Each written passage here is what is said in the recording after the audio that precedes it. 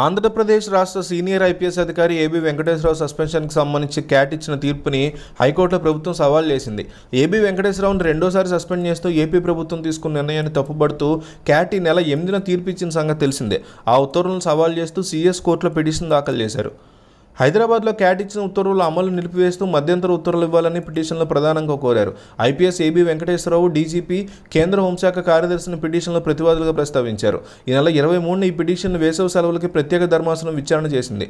రెండు వేల పంతొమ్మిది ఎన్నికలకు ముందు ఏబీ వెంకటేశ్వరరావు ఇంటెలిజెన్స్ చీఫ్గా ఉండగా ఈసీకి వైసీపీ ఫిర్యాదు చేయడంతో పక్కన పెట్టారు.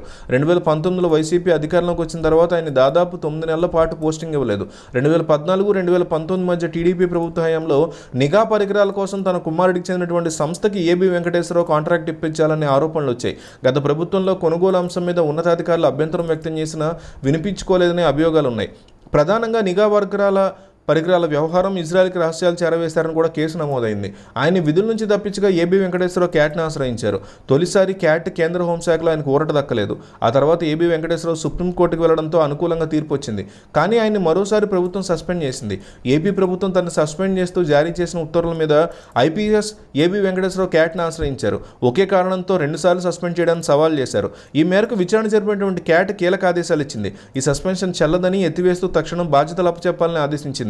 వేతన బకాయిలు కూడా చెల్లించాలని క్యాట్ ఆదేశాలు జారీ చేసింది. ఏబీ వెంకటేశ్వరరావు క్యాట్ తీర్పు కాపీని సీఎస్కి పంపించారు. తన పోస్టింగ్ జీతపత్యాల గురించి ఆయన ప్రస్తావించారు. కానీ ఆయన విధుల్లోకి తీసుకోలేదు. ఇప్పుడు హైకోర్టులో పిటిషన్ దాఖలు చేశారు. మరి పిటిషన్ హైకోర్టు విచారణ జరిపి తీర్పును రిజర్వ్ చేసింది. ఈ విషయం మీద ఆయన నేరుగా సుప్రీంకోర్టుకు వెళ్ళడానికి సిద్ధంగా ఉన్నారు. ఎందుకంటే తాను కోల్పోయినటువంటి పదవీ కాలాన్ని తాను కావాలనే కక్షగట్టి ఇట్లా చేశారని ఈ అంశంలో ఖచ్చితంగా సుప్రీంకోర్టు ఇన్వాల్వ్ అయ్యి తనకు న్యాయం జరిగేలా చేయాలని ఏబీ వెంకటేశ్వరరావు సుప్రీంకోర్టుకు వెళ్ళబోతున్నారు. ఈ అంశంలో ఎవరికి సపోర్ట్ చేస్తారో మీరు కామెంట్ చేయండి. ఐ సపోర్ట్ ఏబీ వెంకటేశ్వరరావు లేదా ఐ సపోర్ట్ జగన్ అని కామెంట్ చేయండి. ఎందుకంటే ఏపీ ప్రజలు ఎవరి వైపు ఉన్నారో ఆయన తెలియాలి కదా. ఆయన ఈ వీడియో చూస్తారు. కంపల్సరీ ఆయన ఆయన చేసిన తప్పు ఉంటే తప్పు ఉందని మెన్షన్ చేయండి. లేదా ఆయన చేసిన కరెక్ట్ అయితే కరెక్ట్ అని మెన్షన్ చేయండి. బట్ కంపల్సరీ కామెంట్ చేయండి.